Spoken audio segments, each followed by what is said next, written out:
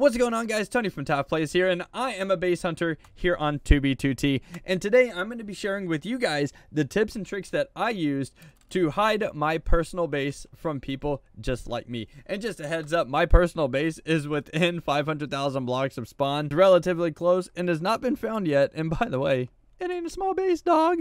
So yeah, sit back, relax, and hopefully you guys can use these tips and protect your stuff from people like me because if you don't, then I'm gonna come and find your stuff. All right, so first off, let's go ahead and talk about distance. One of the first questions I always get about like, where do you base hunt?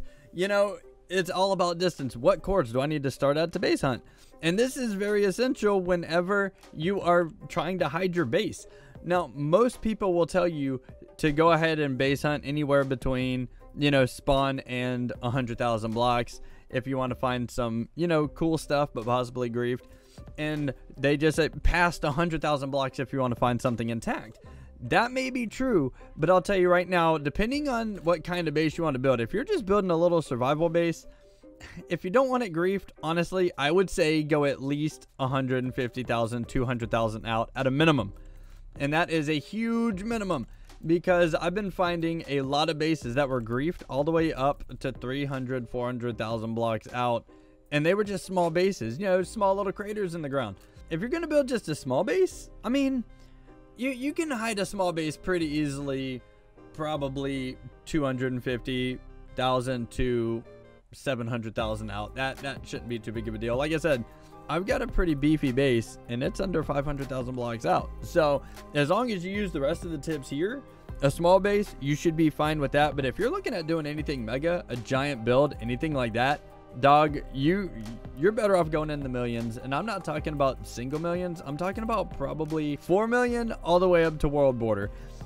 But don't get too close to the world border though, because all that shit gets griefed out there too. So just pick your location wisely um, just get a general idea of where you want to go. Don't pick a set set of coordinates and then go there because you don't know what's there. So just get a general idea. You know, I want to go 6.5 million out and then figure out from there where you want your base to be. But using that distance, you should be fine. So let's talk about travel for a second. How to get out to your final location. One of the things that you're going to want to do is go through the nether. When you go through the nether, my main suggestion is to use the nether highways or pre-made tunnels as much as you possibly can. This helps you do several things. This helps you from not having to tunnel yourself, and this helps save durability on your pickaxe that you're probably going to need to use later. Okay? So make sure you're using pre-made tunnels and make sure you use the nether highway to get out to the furthest extent possible. So what do you do when you get out to the furthest extent possible? you're going to want a cave hop. You know, once you get, like, let's say you want to go to 4 million blocks out and you want to go across horizontal, you know, 500,000 blocks. Once you get to 2 million, the furthest point in your trip on the Nether Highway or through pre-made tunnels, try to cave hop as much as possible. Again, it helps you to not have to dig tunnels, use durability, but also helps prevent people from using free cam to see the tunnels that you dig. Now, when you have to dig tunnels, you're going to want to do several things. You're going to want to backfill your tunnels as much as humanly possible because, like I just said, people can use free cam to see the tunnels that you dig. So if when your inventory does fill up, even though you're backfilling, you're going to want to burn all of your dropped items using flint and steel.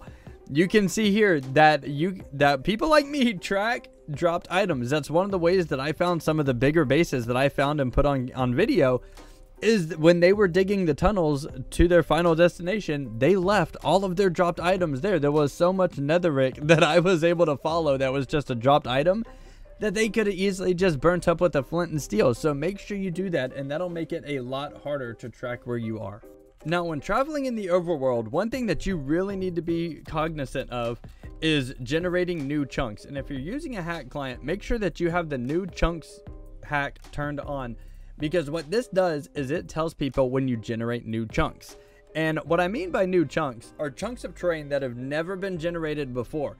And with this hack turned on, it shows up as a grid of red or green squares on, you know, on the terrain itself to show somebody where somebody has been.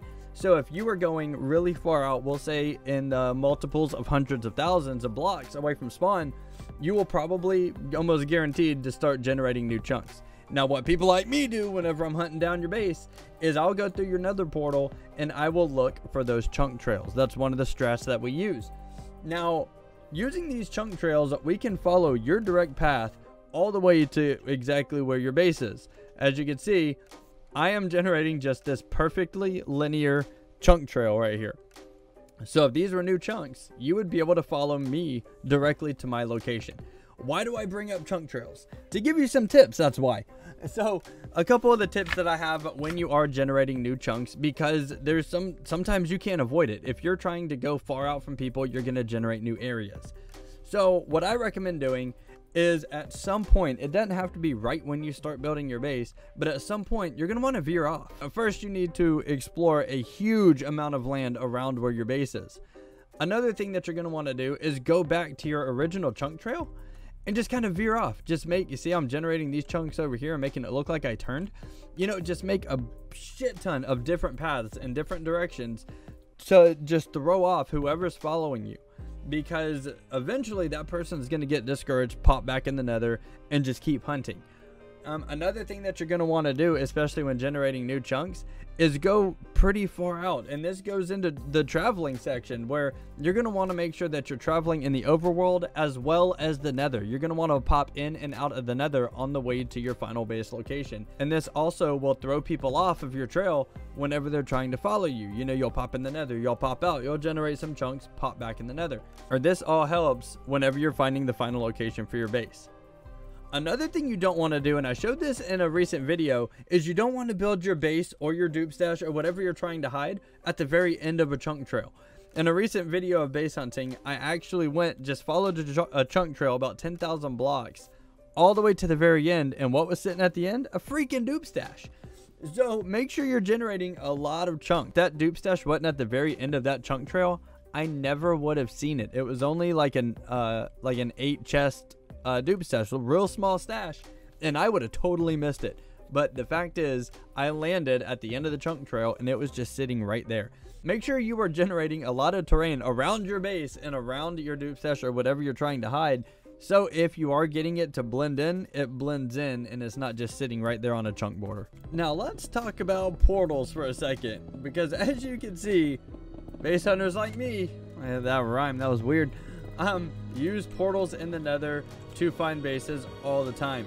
And there is a very easy way for you to prevent this from happening. First off, whenever you decide on the place that you want to build your base, yeah, this looks like a good spot. The first thing you want to do is set down a bed and set down a chest. Clear your inventory to include your gear. Don't forget your gear because you will lose all of your armor. Put all that stuff down and only take a pickaxe pop back into the nether, and this is very important, and destroy the nether portal in its entirety. And when I say in its entirety, I mean even the part on the ground. If you built it on the ground, make sure you cover that stuff up with some netherrack, right? And once the portal is completely dismantled, you're going to want to go back in the overworld where you were, right? Well, there's only one way to do that. And that way is to, uh, you know, just, uh, Epstein yourself in fire or jump off of a cliff or jump into lava. But when you die, you should respawn at your bed. Side note with setting down the bed, don't forget to sleep in it. A lot of people forget to sleep in it and say, oh, my bed didn't work. Well, yeah, your bed doesn't work if you don't sleep in it, dog. So sleep in the bed, go in the nether, destroy the nether portal, die, respawn back at your bed. And when you respawn back at your bed, completely dismantle the nether portal in the overworld because the nether portal search hacks work in the overworld and the nether so you do not want to have your nether portals anywhere. If you need to go back in the nether just rebuild your nether portal and then do the same thing whenever you're done. Just make sure that you have a bed set that you've slept in it so your spawn point is set and then you could die in the nether come back in the overworld do whatever you need to do. And side note for god's sake if you are going to leave another portal up somewhere just don't don't leave it in your base, please. Don't don't put another portal right in the middle of your base. And if you're gonna do it, make sure that you trap that shit. Alright guys, I hope that this video was very, very informative to you. Seriously, I hope that you take some of these tips to heart because they really do help and they do help protect your base from people like me. So guys, if you had to, if you learned some stuff, you had a good time or you're going to use some of these tips, make sure to drop a like on the video. And if you haven't already, feel free to subscribe for more base hunting content from myself tips and tricks on 2B2T, how to survive, and all that good stuff. And guys, feel free to share the video. I would really appreciate it. You know, kind of help some people out over here. And if you want to be a part of the conversation, make sure to follow us over on Discord. The link is in the description below. But once again, guys, thank you so much for the view. I really do appreciate it. Don't forget to keep on playing, and we will see you guys next time. Peace. It's my penis.